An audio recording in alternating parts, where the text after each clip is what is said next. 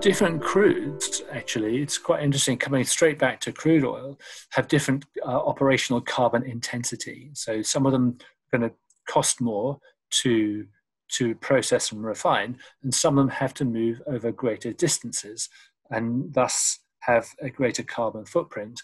And if we have to pay for carbon, those crudes are going to go up, their cost is going to go up.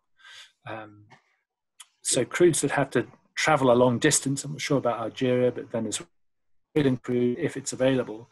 Now I've come to, I was looking at Mexican. Now Mexican is heavy, not very good quality, but doesn't travel very far. So maybe its carbon intensity isn't so great. But for certain grades of, of, of oil, say oil from the UK is pretty close to a destination market, although it doesn't always stay uh, around Europe, it can go further afield. So we have some uh, we have some low quality crudes with a, with a low carbon uh, footprint simply because they don't have to travel very far. Um, but if we are low quality crude and a big distance, then then potentially the, the cost of the crude goes up because of the cost of processing the carbon.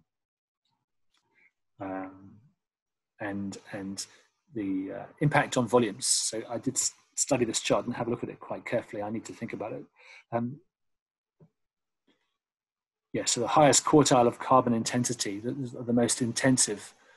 So we'll see a reduction in our rapid change in, in the worst grades of crude. And, and if we are going to use um, crude, is going to be, we're using the, those crudes with, with the, the lowest carbon intensity because they become cheaper because the cost of carbon has a real impact on the cost of, uh, of different grades of crude oil. So that's just a message to take from there.